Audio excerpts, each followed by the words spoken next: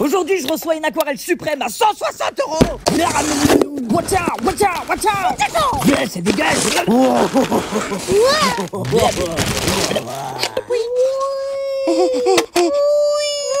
Et on va comparer cette boîte d'aquarelle suprême à celle que j'utilise d'habitude. Je voulais choisir dans les commentaires de cette vidéo le thème de peinture que je vais devoir faire pour comparer les deux. C'est que. Oui. Content Abonne-toi et active les notifications pour être sûr de voir la suite.